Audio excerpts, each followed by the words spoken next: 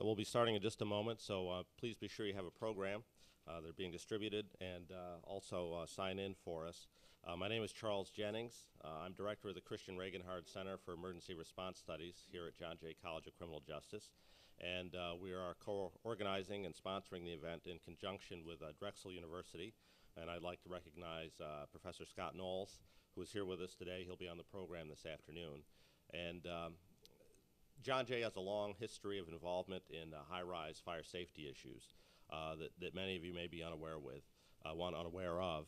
And uh, it goes back uh, uh, well before 9/11, and you'll hear some uh, discussion of that this afternoon with uh, uh, Jake Pauls in particular, who will talk about uh, the fact that we hosted the first uh, panel of uh, researchers uh, and uh, government looking into the uh, possibility of doing studies on evacuation of the World Trade Center.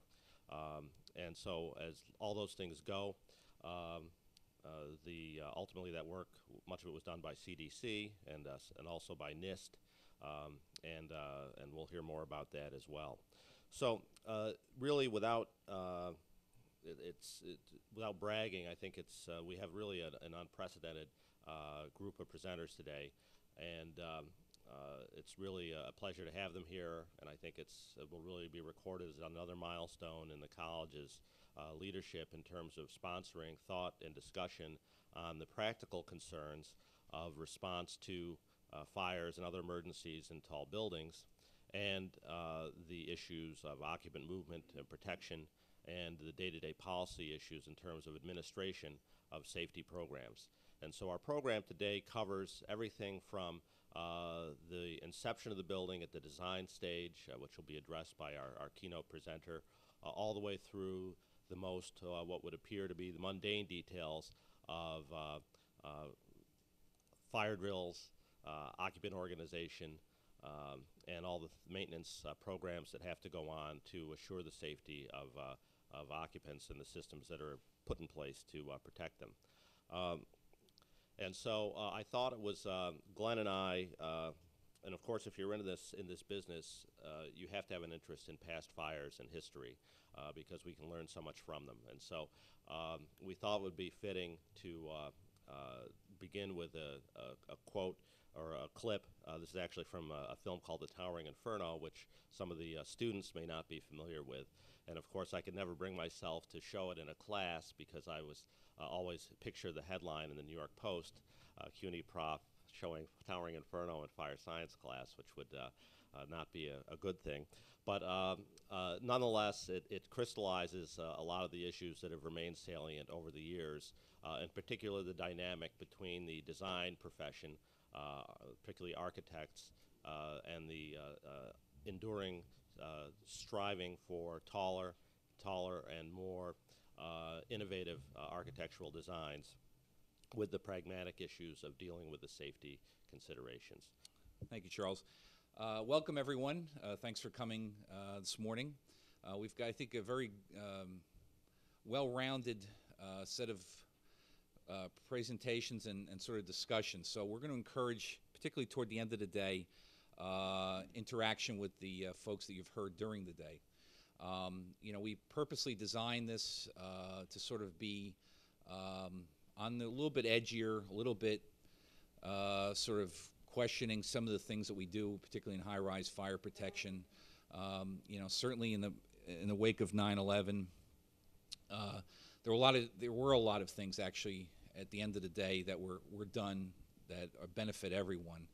Uh, but there's still some issues out there, and uh, you know we're in we're in a um, in a world in which um, you know these buildings are only going to get taller, and we cannot think of them as we have in the past as as as you know just simply uh, buildings that we one size fits all, right? So that was one of the issues that came up during the 9/11 hearings was that uh, even to this day, for the most part, not today, not completely, but for the most part, we treat 10-story buildings the same way we treat 100-story buildings.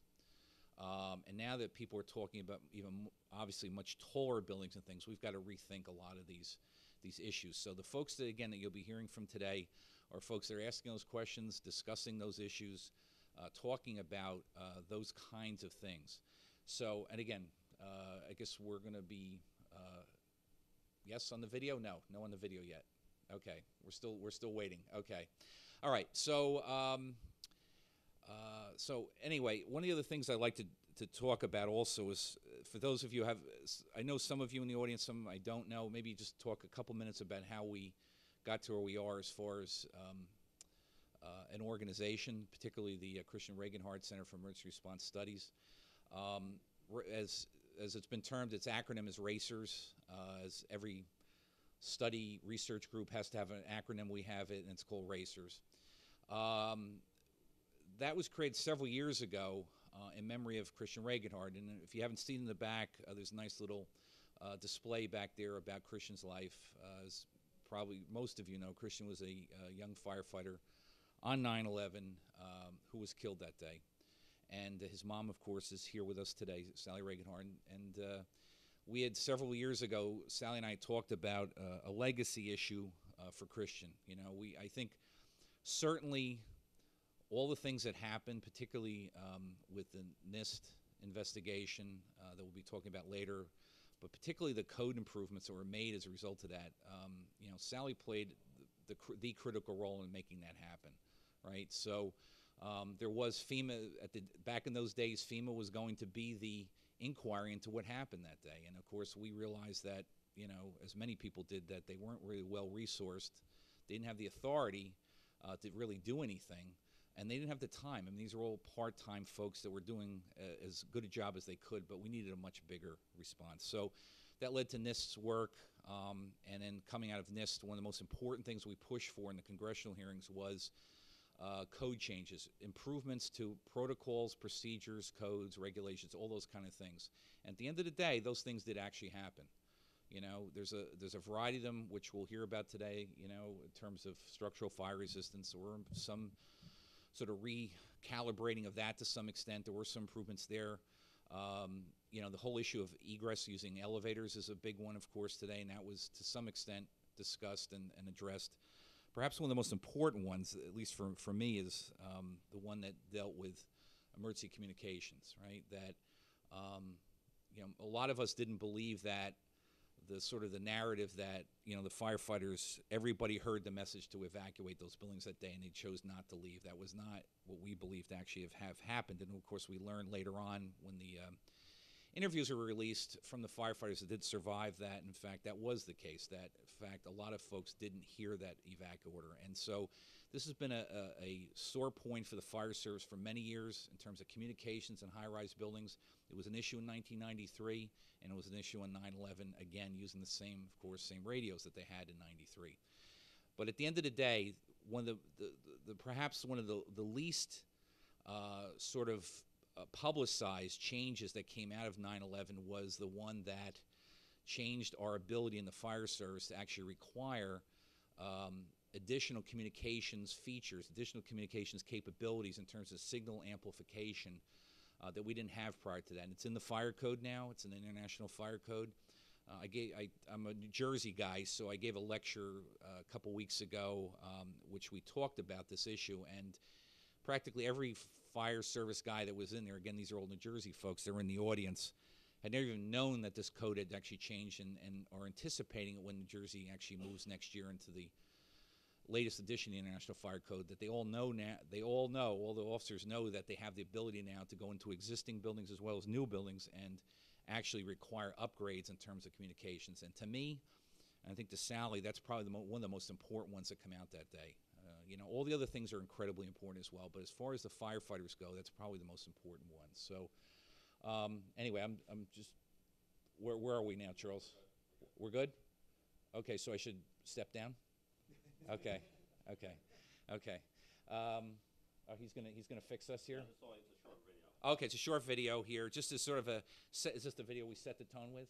Yes. This is the tone setting video. Okay, we've got a few more that that uh, Jim Quintieri has for us later on if we want to see them. So, but anyway, here we go.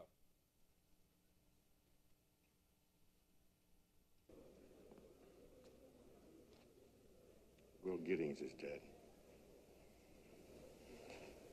He died 20 minutes ago.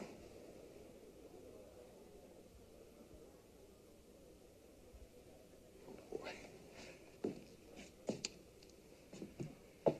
Oh, I wonder how many more will be dead by tomorrow. I thought we were building something that where people could work and live and be safe. If you had to cut costs, why didn't you cut floors instead of corners? Now listen. Any decisions that were made for the use of alternate building materials were made because I, as a builder, have a right to make those decisions. If I remain within the building code, and God damn it, I did. Building code. Oh, building code. Come on, Dunk. I mean, that's a standard cop-out when you're in trouble. I was crawling around up there. I mean, duct holes weren't fire stopped. Corridors without fire doors it, sprinklers won't work. And an electrical system that's good for what? I mean, it's good for starting fires. Whew, boy, where was I when all this was going on? Because I'm just as guilty as you and that goddamn son-in-law of yours. What do they call it when you kill people?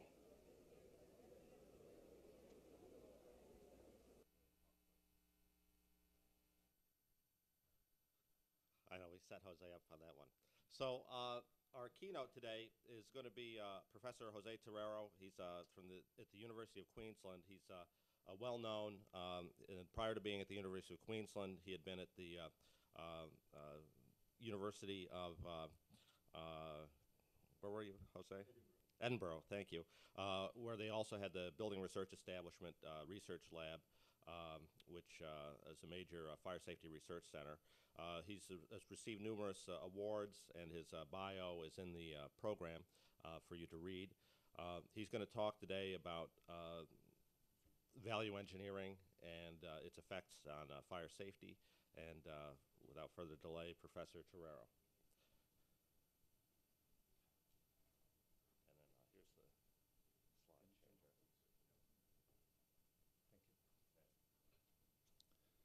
And then uh, here's the slide changer. Um, Thank you very much for the, the kind introduction, and uh, thank you very much for the invitation to, to be here. Um, it's uh, really a, a pleasure, and um, uh, you know, very humbled by your presence and uh, and and by the opportunity to to talk uh, to all of you. So uh, let, let, let, me start by by telling you what I've done Monday and Tuesday. So I, I attended the Council for Tall Buildings and Urban Habitat um, uh, meeting, and that was the, the, the original reason why I was coming to, to New York.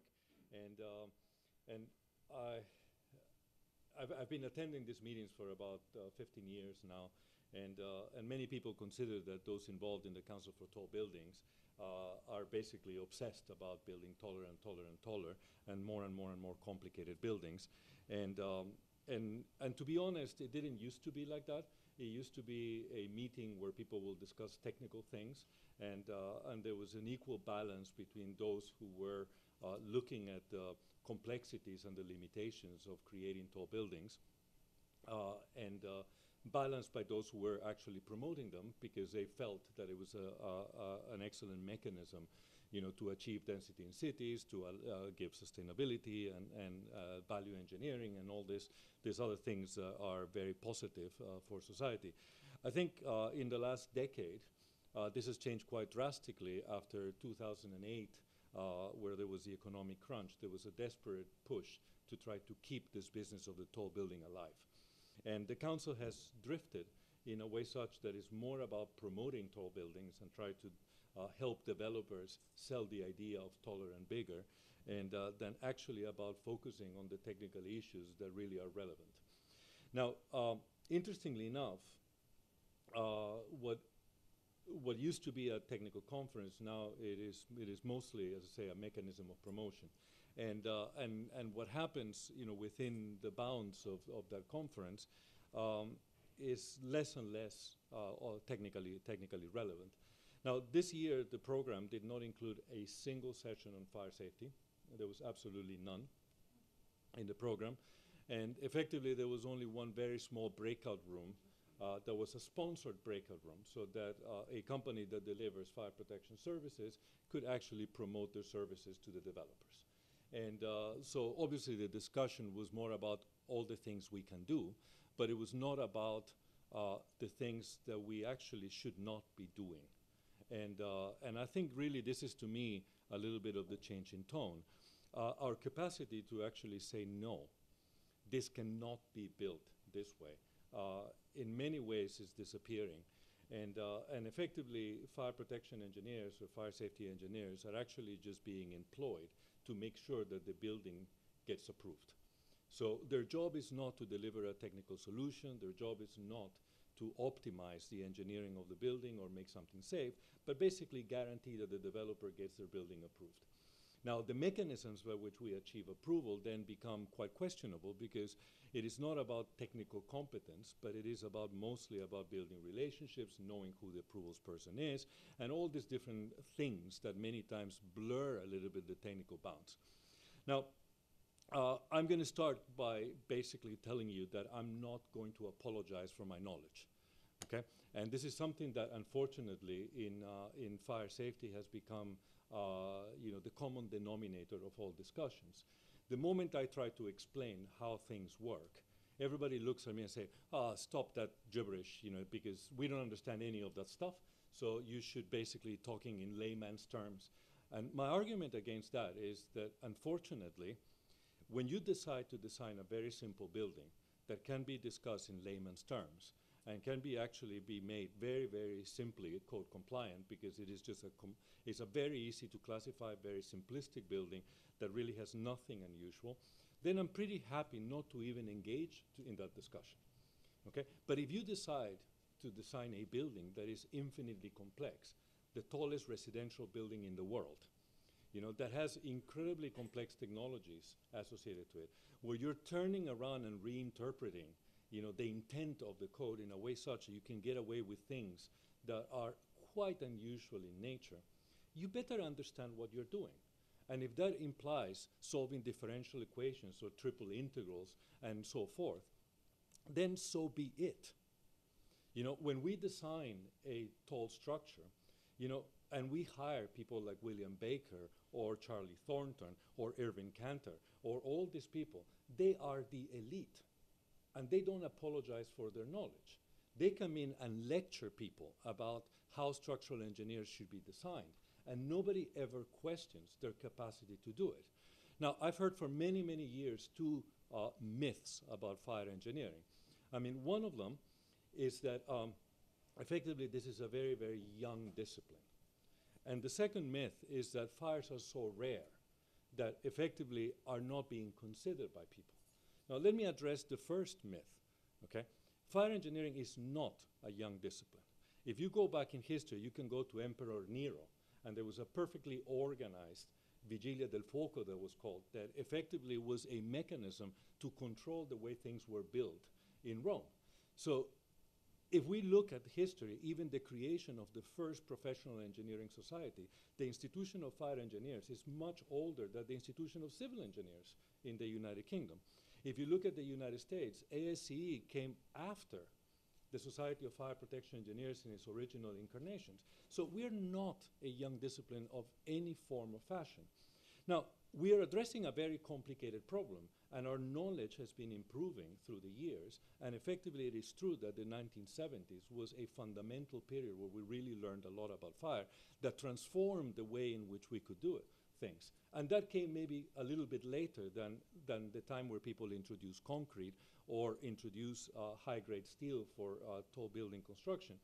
But effectively, you know, Ingberg in 1928 was assessing steel buildings already in an engineering way when it came to fire.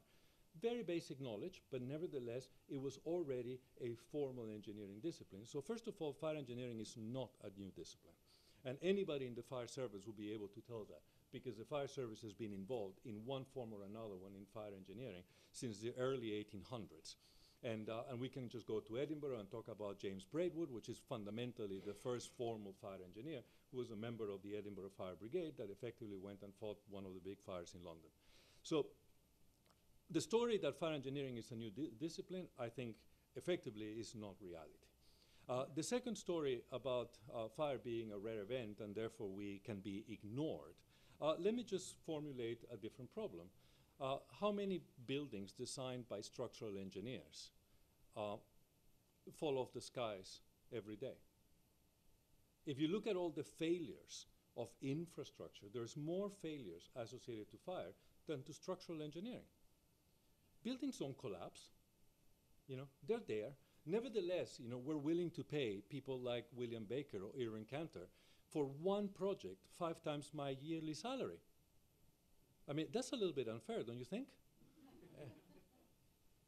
Why? Why is that we actually emphasize so much structural engineering and we tend to have a tendency to completely ignore, you know, fire engineering? So I think, and, uh, and I think, unfortunately, I have to say this, you know, people like Jim Quintieri are responsible for that. You know, they were the ones who created the science. You know, they were the ones who drove the knowledge. And, uh, but fundamentally, his entire generation decided to ignore education.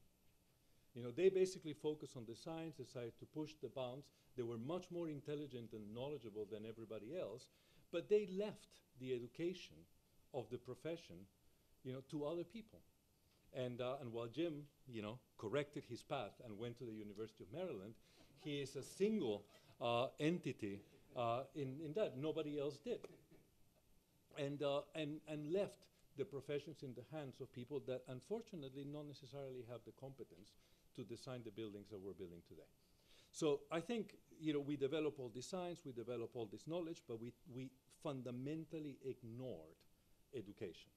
And the moment that we ignored education is the moment where you put people like me, that came a little bit later, in the position where education is something we need to apologize for. Okay? So effectively, if you don't understand a word of my presentation, I personally do not care. You know, I'm going to give you the differential equations and the integrals and take them for what they're worth it. I know what I'm doing. Okay? And effectively, that's the message that if you're going to address a complicated problem, then you need to be fundamentally competent. Okay? And if you're going to address a simple problem, your level of competence can be reduced, you know, in, in a sort of uh, rational way. But if you're really addressing a complicated problem, you have to be at the same level as Charlie Thornton or William Baker or any of these absolutely top-notch structural engineers that are designing these tall buildings that we're dealing today. So that's the introduction to my talk. Now, it starts with this word value engineering. This is what everybody is doing. So when we are designing a tall building, it's all about value engineering. So effectively, we're trying to reduce materials, we're trying to reduce the surface area in which we're populating thousands of people, and we're doing all these different things to try to make sure that we're getting the most for our dollar. Okay?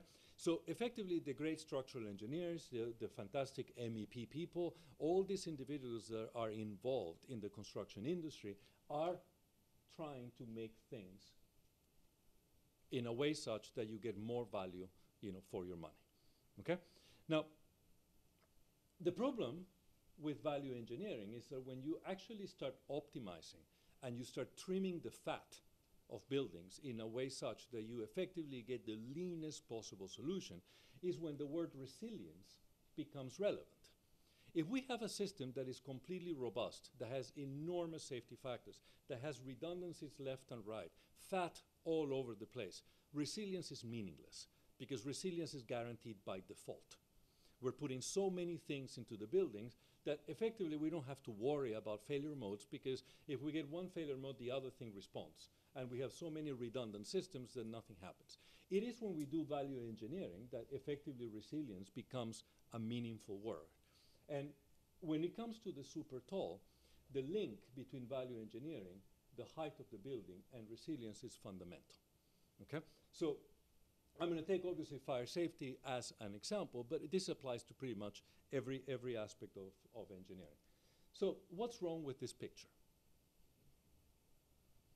Okay, so 432 Park Avenue. So what's wrong with that picture? You're laughing, but seriously, what is wrong with that picture? That building is odd, no? It's this needle that is going up that has a minute surface area. You know, anybody that, that has done anything, you know, with uh, me uh, mechanics of materials knows that cantilevers are a problem. So when you have a very, very, very, very steep needle and you put a force in this direction, something is going to break here. So you expand, you know, your base in a way such that you get more uh, restraint for the system in such a way that you can hold the forces. Now, of course, by taking a very, very small surface area and making an immensely tall building, we're going to have a lot of forces from the wind in here that is going to create an enormous cantilever. Okay? So that cantilever from a structural perspective is a huge problem uh, for, for the resistance of the materials, for the structural design, and all these different things. So this is not a robust building by definition. It's a building that is very valued engineering. We're taking the most money out of that surface area. Okay?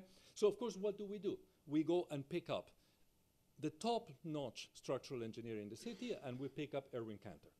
Okay? I mean, that person is involved in city government. He basically is a big voice in structural engineering, and that's what we do now. Here we have a very unusual building, so we're going to pick the, the most knowledgeable individual in the business, and we're going to employ that person to give me a structural solution that actually addresses this particular problem. Okay? So now, can I criticize that? Can I go and say this building is unsafe, this building is complicated, this building is a problem, this building is not going to work? Not really, because most likely he did his job right. I am not a structural engineer. Needless to say, I'm not a structural engineer of the caliber of Irwin Cantor. Who am I to question what he did? Okay, I can't. Effectively, he's probably doing the best he can. He's taking the professional responsibility for his building, and he's delivering a building that he deems that is perfectly safe. Now, let me look at it in a slightly different way and look at it as a fire engineer. Okay? So the first question that I'm going to ask myself, if I took this from the Council on Tall Buildings of Tall Buildings and Urban Habitat, and basically here you have a number of buildings in New York, uh, Empire State Building, One World Trade Center, and here it is 432 Park Avenue is, I think, one foot lower than One World Trade Center. Okay? Effectively, in, depending on how you count, it is the tallest building in New York. Okay? Now, can I classify the tallest building in New York? Can I actually go and say this building corresponds to this particular classification and therefore it can be resolved with this particular standardized canned solution? Uh, you were mentioning that we deal with 10-story buildings in the same way as we deal with 100-story buildings. So can I classify the tallest residential building in New York and therefore provide a pre-established, implicit solution for its fire safety? Not really. How can I classify the tallest building in the city? The classification is one. That is the tallest building in the city, no? So how can I resolve it using codes and standards? if that building is so unique in nature that effectively doesn't fit any code, fundamentally that particular building in itself doesn't fall through any classification. And people tend, tend to, to, to forget the fact that for a code to exist, we have to start with a classification. We classify the, the, the building, and once the building is classified, we provide a standardized solution that provides an implicit level of safety that doesn't require a detailed, explicit engineering. Okay? How do I classify the tallest building in the world? I can't. How do I classify the tallest residential building in the world? I can't. And how do I classify the tallest building in New York? I can't. Okay? First, alarm bell. Does that mean that the building is unsafe? No, it doesn't mean that the building is unsafe. All that it means is that I'm beginning to get sensitive about it. Okay? Then I start looking at the floor plan. Okay, what is the first thing that I observe? One stair. Okay? Is, is that a conventional solution? No, no, it's very unusual, no? The second thing that I look at is a very, very small and flimsy core because the building is resolved as a function of columns Okay? And we all know the story about buildings that rely on perimeter columns. Okay? And I don't need to get into details on that. Furthermore, the compartmentalization in this building, given that it's a residential building, in theory would be much greater for a conventional residential building. Here we have a very significant part of the surface area of the building. All this space here is about half of the floor plan that is not compartmentalized. So it doesn't really behave as a residential building. It actually behaves almost as an office building because it's a non-compartmentalized space. So it's an open floor plan building. Now, does that mean that the building is unsafe? Not really. All that it means is that there's more alarm bells. Okay, it is an unusual building because of its height. It is an unusual building because of its structural layout. It is an unusual building because of its floor plan distribution. Okay, it is an unusual building in every possible way. Now, I go even further. So look at the window and look at the separation between the windows. What guarantee do I have of not having upward propagation of the flames? Effectively, what I have is glass and glass. A lot of the traditional ways to try to prevent the migration of a flame vertically are not there.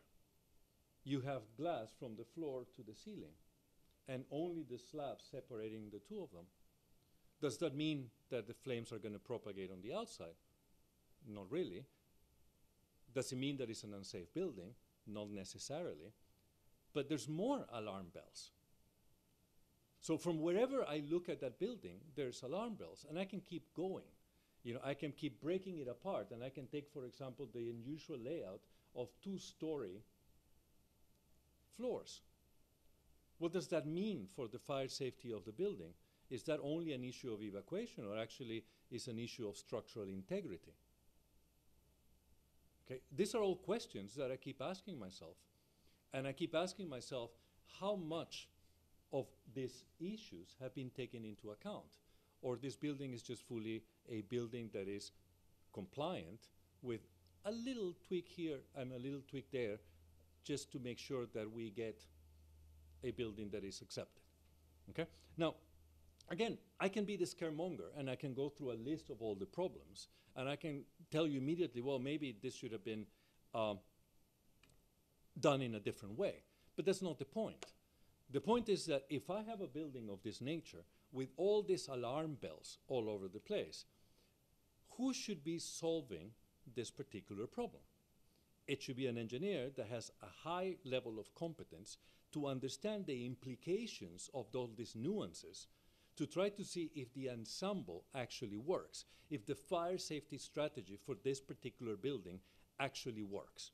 And I'll give you a very simple example. If the fire spreads vertically and it starts covering you know, multiple floors, all of a sudden people are going to evacuate from multiple floors. Okay? And the moment people evacuate simultaneously from multiple floors, even if the occupation is not very high, multiple doors get open. And if multiple doors get open, the pressurization system of the single stair, okay, that effectively requires or is designed only for three or four doors to be open, all of a sudden loses pressure, and then your stair is full of smoke. So that's a way in which the strategy fails. And the strategy fails in a manner such that it is like a chain, where if you get one weak link, the whole thing breaks apart. Okay? Now, the question to me is was there an Irwin Cantor running the design, the fire safety design of this building? And that's the question that I don't know what the answer is. Nobody will give me that answer. But fundamentally, is, is that the case? Did you have an Irwin Cantor actually designing the fire safety of that building, which is as critical as the structural design? So when I look at the building, then I ask myself the question of resilience. How did we address the resilience of that particular building that has such an unusual structure, such an unusual layout, you know, such a unique, I mean, if you look at this photograph, you can tell how unusual this particular building is. Okay? And the question is, I'm talking about a highly optimized building where resilience is an incredibly, incredibly important word. So how did we explicitly address resilience? Because in this particular case, it's not conventional, it's an unusual building. So resilience has to be explicit and it has to be linked to deep knowledge and understanding of the problem. So if I look at this problem and I think of resilience, then I have to start thinking about the wake. Okay? Because what is the wake in this case? Here is the economy. So somebody wanted to make that building in that very small footprint, pushing very hard. Okay? Here's a structural engineer driving a very slim design to make it work appropriately. a very unique sort of perimeter-based uh, load transfer mode for this particular building. Here are all the drivers, okay? But the question is, what are the, the unpredictable consequences of those actions? That's what resilience is all about, is understanding in an explicit way what are these unpredictable consequences. Because as you can see here, the wake is much, much bigger than the driving forces. And the wake is going to last a lot longer than the time the boat is going to spend in this image. So all these things that we have absolutely no idea what they mean are the things that are becoming going to become extremely relevant when we start talking about resilience in this type of buildings.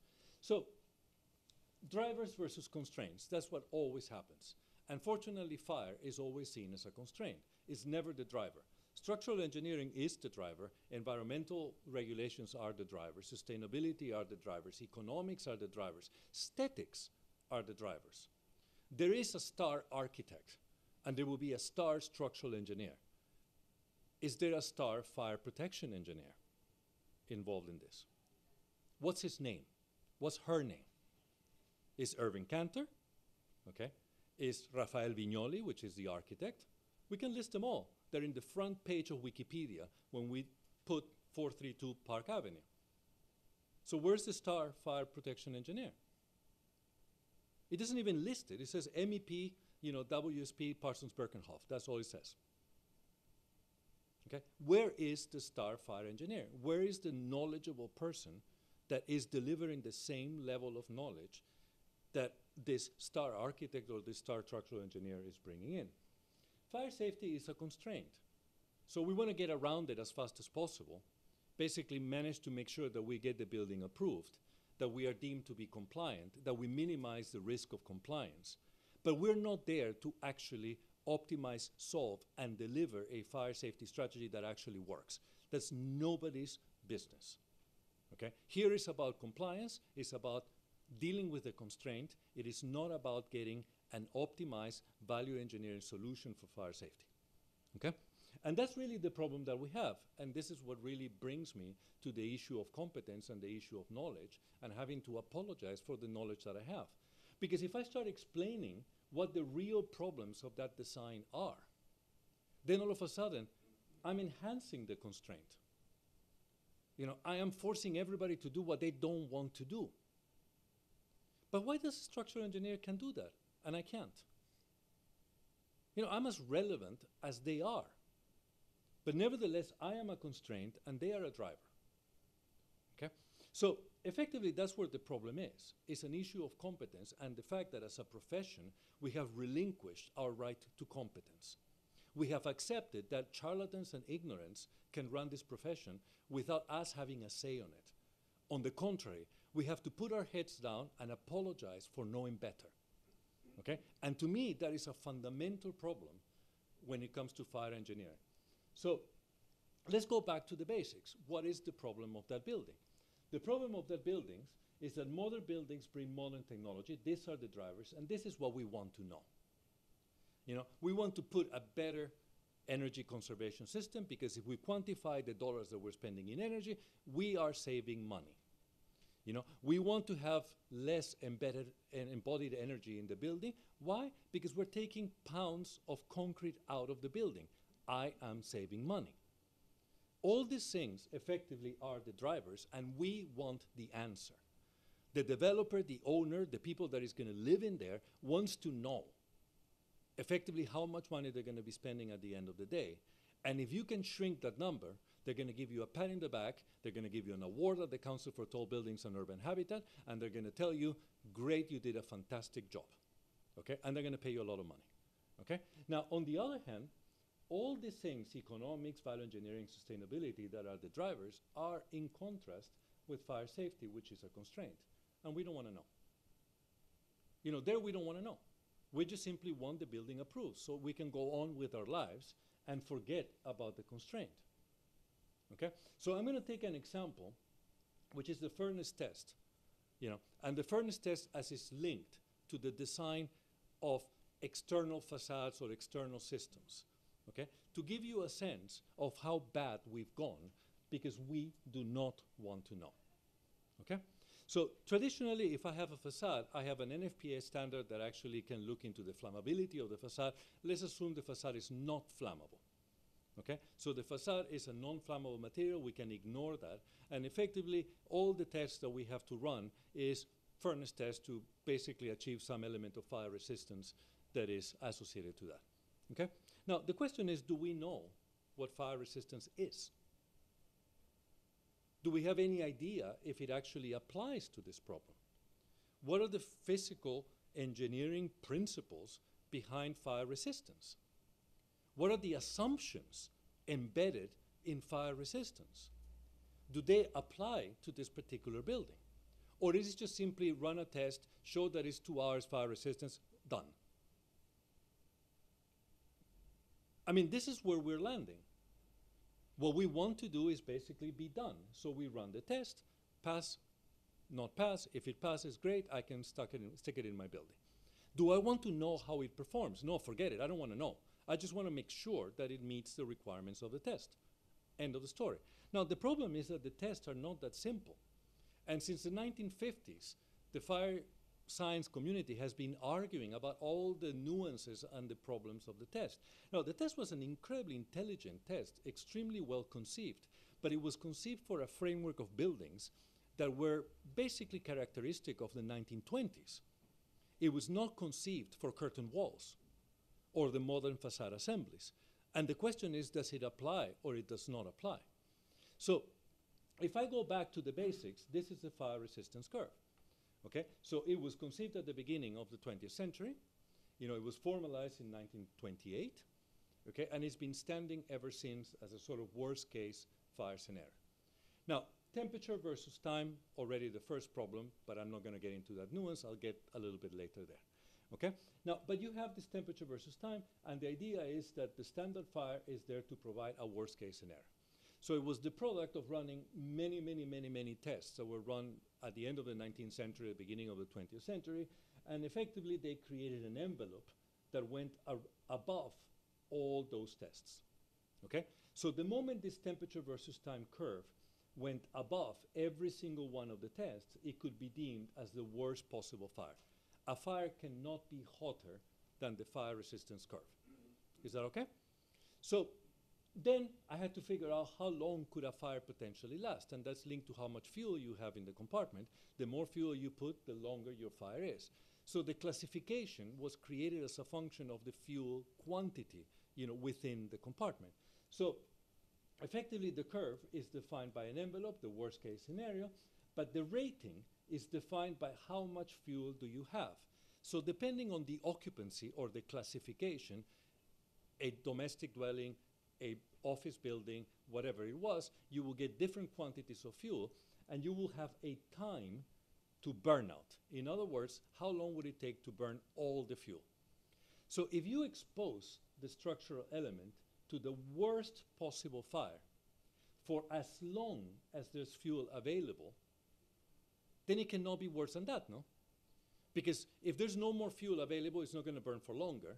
And all the fires that we tried were less hot than the one we are testing against.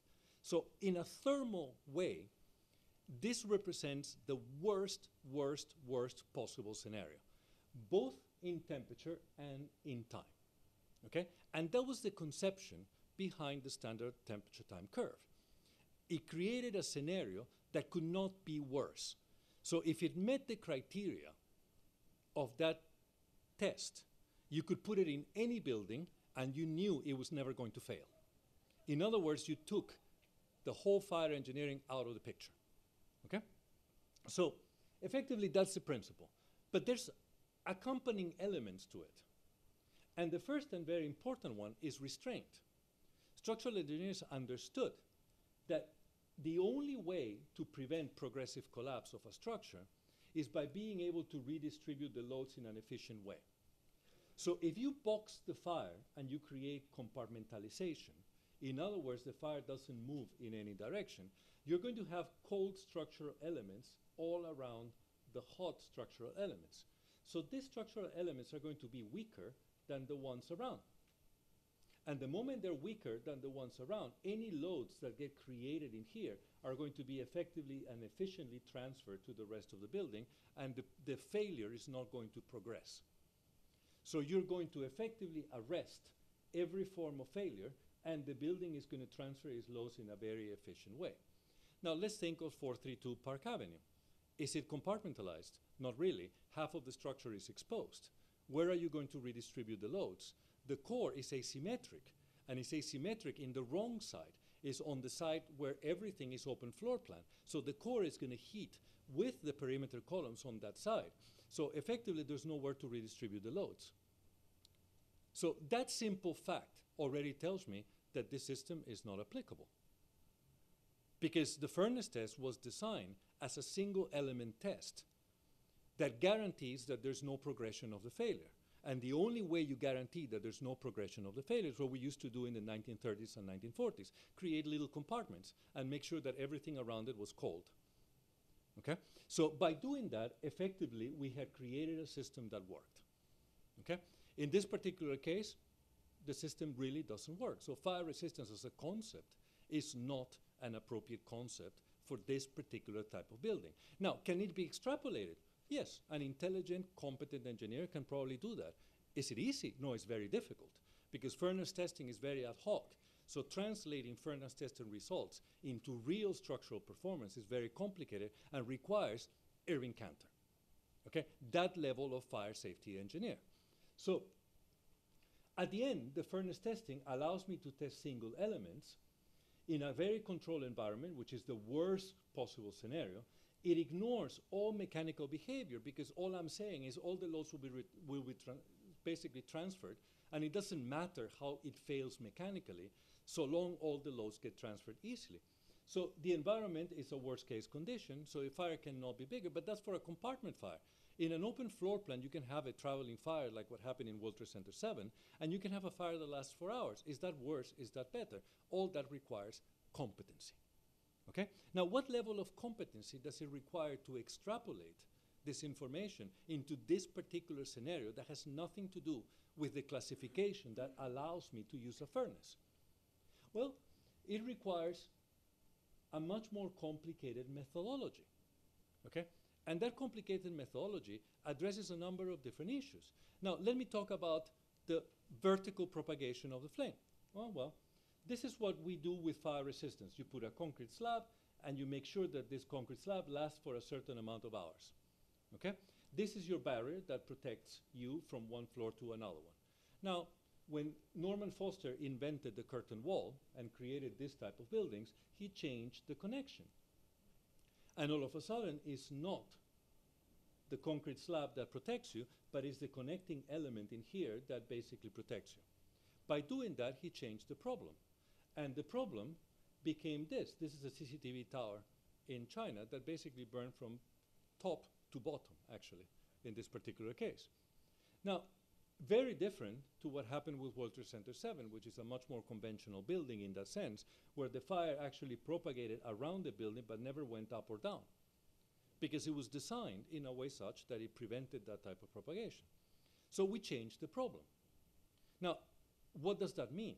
Well, when we change the problem, we have a different problem. And that different problem is not anymore about fire resistance, but it's actually about relative displacements. Because I have a very big concrete slab that heats up very slowly. I have a very flimsy curtain wall that heats up very fast. This deforms a lot, this deforms very little. So you get a problem of relative motions, where effectively this element is going to rotate when you get the fire in this way, while this element is going to rotate in the opposite way, creating enormous gaps in the middle that potentially could allow for vertical propagation upwards or downwards. It's a completely different problem. Does it have anything to do with fire resistance? Absolutely nothing. So why am I testing this for fire resistance? Fire resistance doesn't introduce any mechanical behavior, none, zero. It's purely thermal. So why am I asking for fire resistance for this system that is purely about mechanical behavior?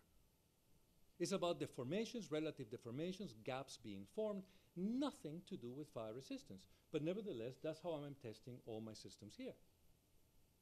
Now, this is why we developed the fire resistance test. to look into the resistance of materials as a function of temperature. We didn't develop them to look for mechanical behavior. So obviously, we have to start looking at how deformations happen. And this is where I'm not apologizing for the knowledge. I need to be able to know how things deform, their curvature, and I need to know how they displace themselves, this epsilon and this phi. Okay? And those can be calculated, and I can come up with mathematical expressions that calculate that, that effectively shows me all the failure modes. And once I have the failure modes, that they all depend on the temperature gradients, I need to go and resolve the fire correctly. Because the gradients will change the curvature and will change the failure mode. And it has nothing to do with a furnace that is an artificial sort of worst case scenario, but that doesn't really show the real gradient that I need. To be able to do the gradients, I need to understand the fire. And I have to understand fire dynamics, and I need to be able to get the heat that goes into the structure. I need to be able to do the heat transfer in the structure, and I need to be able to do a structural analysis. If I cannot do all these things, I could never assess the performance of the building. So, what do I do? I mean, do I sit there and apologize to you because you don't understand my differential equations? When I know that they are necessary? Do I bow down and put my head down and tell you just go and do fire resistance testing? When I know that doesn't apply? I mean, this is a dilemma in which we exist. So when we're looking into this, effectively, you know, we have a thermal test. That's fire resistance, okay? That basically doesn't provide a fire because it gets the gradients wrong, so I don't get the deformations right. It doesn't do any mechanical assessment, and therefore it doesn't apply. In reality, to look at the building envelope, I need to have a proper definition of the fire, so I need to resolve the fire dynamics. Okay, I need to be able to understand the thermal, thermal gradients to get my mechanical assessment correctly so that I can establish a proper failure criteria so I can quantify the performance of the building. This is what an engineer does. This is what competency is all about. This is the value of knowledge. So at the end, I'm using the wrong failure criteria, the wrong testing conditions to address a problem that has nothing to do with the standard temperature time fire resistance curve. So is this the right test and the right failure criteria? Obviously not. Now, does that mean that the building is dangerous and it's going to kill everybody? No. It just simply means I don't know. Because everything that I have assessed from the perspective of performance has absolutely nothing to do with what I really need to be looking for. Okay? And that really is what the pro. So I'm blind. I have no idea how good it is or how bad it is. So, what are the consequences? And this is what we're seeing. You know, we are beginning to understand that there are consequences to our actions. And so this is a series of images of the last 15 years of external facade fires. By 1980, we, saw, we thought we had solved the problem and that vertical propagation of flames externally to a building effectively could not happen anymore. In the last 10 years, we've increased the number of those fires to a level that is truly alarming. And it's worldwide, you know, from Melbourne, you know, to Madrid, you know, France, Dubai, Abu Dhabi, everywhere you look at it, China, these fires are happening left and right. We haven't had a major tragedy yet, but clearly I feel that we're walking with our eyes wide open towards a precipice. And we're doing nothing about it. Now, do we know how to fix the problem? Of course we do. Okay? But nobody wants to hear it. Okay? I have to apologize because I know how to fix this problem. Go, go and tell a facade manufacturer that they have to go and test their facades to something that is not the fire resistance test. They will tell you you're insane. Okay? Go and talk you know, to the structural engineer and tell him he has to do a proper mechanical assessment you know, and effectively do a proper analysis of the fire dynamics to get the heat input right. They will tell you you don't know what you're talking about. But who are they? Do they have the competence to make that judgment?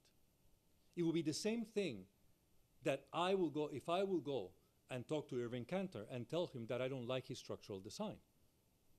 Do you think he will accept that? Clearly not. But I have to bow my head and say, sorry, yep, keep doing fire resistance. Okay? So at the end, there are consequences to our actions, and we cannot ignore them. And I'm not trying to be a scaremonger, I'm just simply presenting images of reality. Okay? So understanding really is what is important and what matters. If you're dealing with very uh, sophisticated and unusual buildings, as opposed to very conventional you know, buildings, you really need a much higher level of understanding. And the more we optimize and innovate, the more we need to understand the concept of resilience. And the concept of resilience is about knowledge. It's about understanding. It's about knowing how to calculate things right. So can we afford this implicit performance where we really don't know what we're doing? This is the SOM project to do a 47-story timber building. Can we actually do a 47-story timber building if we don't understand what fire resistance is applicable for and what is not? Can we test timber in this kind of structural context using fire resistance and just relying on very simplistic charring rates? You know, can we afford that? Yes. Well, it's a project. Uh, it's, it's, it's not been, uh, it's, it's not, it's not being executed right now. So if we're designing buildings of this nature, I don't think we can afford that. So this, if these are the buildings that we're going to be making, I really think that we need to put knowledge in the front page. So what are the challenges and why are we so upset about this and why we are so nervous about this? Because it challenges everything. Okay? It challenges our design principles, it challenges our design practices, it challenges the performance assessment methods that we have, it challenges our entire regulatory framework that is purely code-based, you know, and it challenges the definition of what a professional is. Because it's not the same thing to be a code consultant that to be a true engineer designing from first principles. We don't even know how to accredit in fire safety a true engineer. We don't have the mechanisms to do that. All we know is how to accredit people that know how to apply codes. So it challenges everything, and that makes us very nervous. Because the problem is, who can design a building envelope like this to be fire safe? All of a sudden, the practice feels that all this is a threat and they're going to be displaced. And instead of trying to adapt themselves and move up with the challenge, you know, they rather entrench themselves and keep pushing the status quo when we know that the status quo is not relevant. So if we're going to have cities like this, I really think, once again, we should put knowledge in the forefront. Thank you.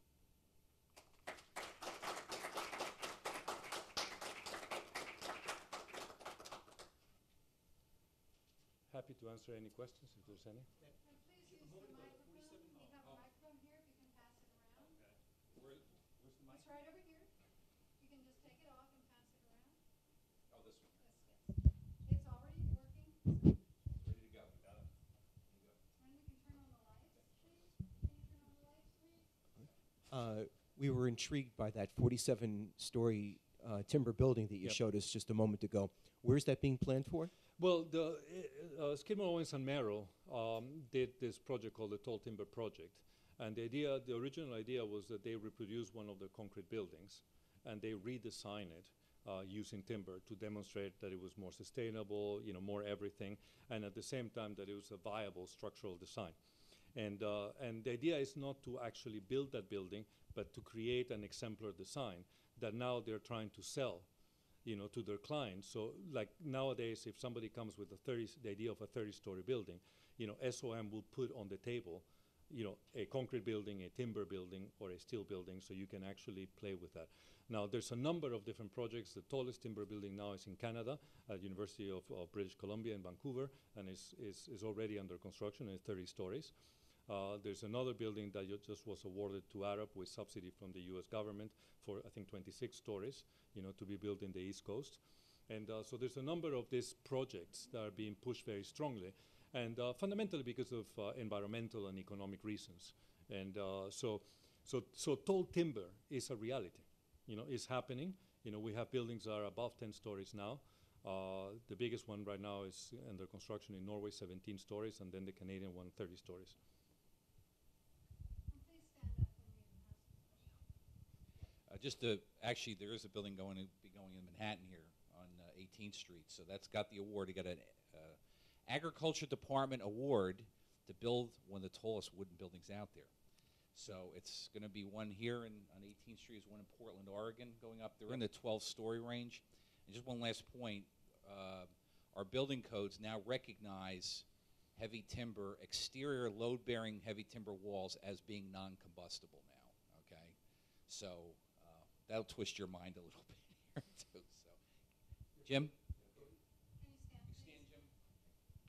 Uh, Jose, um, really fantastic uh, talk. Can't hear you, just bring it closer to your mouth, don't touch anything. Did you hear that, Jose? I did. It was good talk. Uh, Have you talked to Donald Trump about this? No, no, no. You know, I'm south of. I come from south of the border, so I might be, you know, in danger for my life. My, my, uh, how did you get in the country? No, eh, uh, seriously. Uh, If you go back to the furnace test, would you say that uh, the furnace test is somewhat obsolete because you could replace it with a calculation that would probably be just as accurate Uh, well, I think I will go. from a thermal standpoint? Yeah, well, I mean, I think that, that you know, ca- calculations are always difficult because, I mean, you, as you know very well, the degradation of the material properties is always going to be an issue. And uh, so, so yeah, if you knew all that information, yes, but but effectively, uh, you know, we know how to do a much better test. Just put a radiant panel and put the materials in front of it. You know, you can actually load a structure and, and, and understand its mechanics just by putting radiant panels. I mean, the furnace test is an obsolete piece of hardware, and we've known that for since the 1950s. Can't hear you. The we is very, very small. Well, but that's your not- fault, not- Jim. It's, it's not my fault. You know, if the we will be much bigger I, than that. I will have the microphone next. Okay. Okay, We'll go, uh, Jack, we'll go Jack, and we'll go back. In the Park Avenue building that you showed, designed into that building are three levels of mechanical rooms, and they're two stories. And those areas are open to the atmosphere so that the wind blows through. I assume on those floors too are, are doors getting out to that open space. My concern here is any wind-driven fires in these areas. A fire Well- with the wind dri- driving in, coming down into the stairwells and everything else. Yeah, I mean, there's been a number of recent studies, as you probably know, on, on wind-driven fires, and, uh, and people have realized that a lot of the basic principles that we've been using to address, uh, you know, fires in particular at higher levels where you get exposure, um, you know, can have, you know, quite difficult consequences. So I, I wouldn't disagree with you. I think that's something that would, would have to be taken into consideration, in particular because a lot of the life safety systems are in that space. Yeah. Are, are there any international standards organizations that could implement um, uh, modeling for this type of uh, integration of uh, resilience and uh, value engineering? And, and could those uh, could that modeling be integrated into uh, future building designs? Also, are there any countries that are leading in this effort? Yeah, I mean, there, there's been a number of efforts to try to standardize the use of modeling. You know, ISO did, did a, a study, NFPA did a study, uh, NRC, uh, Nuclear Regulatory Commission, did a study. So there's a number of different efforts to try to standardize modeling, but uh, there's absolutely no efforts to try to stan- standardize modelers. Uh, so I think most of the models that we have are quite robust in the, in, in the right hands.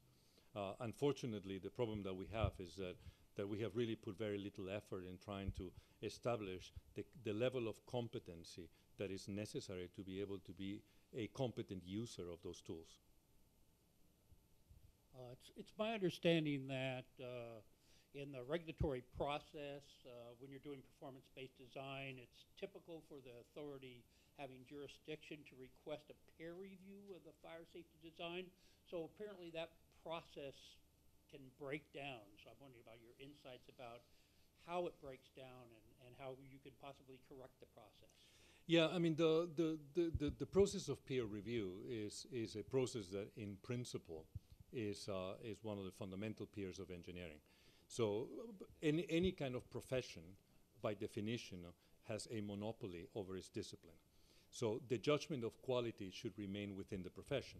So, if you have professionals you should have other professionals that are capable of assessing if what you're doing is correct or not, or and you know if, if, if necessary. So, so I think the process in itself is is a sound process.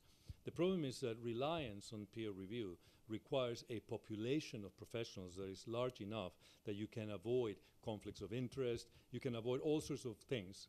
And unfortunately, we are in one of those disciplines that, because of Jim's fault, uh, you know, we haven't really populated it enough to have that level of breadth of professionals that uh, that can guarantee that the process works correctly. So, if you look at, at who can deliver performance-based design in fire safety engineering, I have more fingers in my hands than than the number of organizations that can do it. So inevitably, they run into all sorts of conflicts. So the system doesn't work because of a lack of critical mass, not because the system needs to be changed. Okay, I guess uh, that'll do it. Um, we're going to take a very quick five minute break. Uh, and I want to thank uh, the professor for an incredible eye opening experience here today. So thank you.